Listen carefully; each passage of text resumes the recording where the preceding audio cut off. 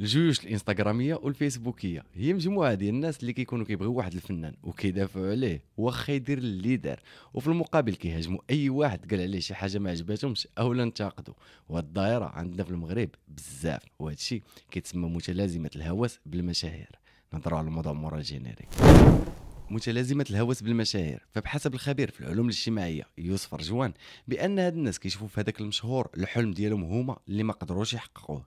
وبلاص ما أنهم يواجهوا الفشل ديالهم ويحاولوا يردوه النجاح كيفضلوا أنهم يقابلوا الحياة ديال ذاك المشهور. وكي قال لنا يوسف رجوان بأن هاد السيكولوجيا ديال التعويض هي راجعة لأن هاد الناس كيحاولوا يعوضوا الفراغ أو الوحدة أو حتى الفشل ديالهم باش أنهم كيتابعوا الحياة الشخصية ديال هاد الفنانين أو هاد المشهورين بواحد الطريقة اللي هوسية.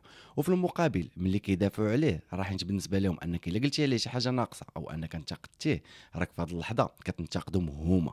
وعطاك مثال لي fans ديال دنيا بطمة وسعد لمجرد وآخر حاجة غادي تكون أي واحد تعرض لشي هجوم من طرف شي جيش من هاد الجيوش هادو. بلاصة ما أنك تقلق وتبقى تجاوب معاهم فأحسن حاجة تقدر دير هي أنك تطلب الله يشافيهم وصافي. peace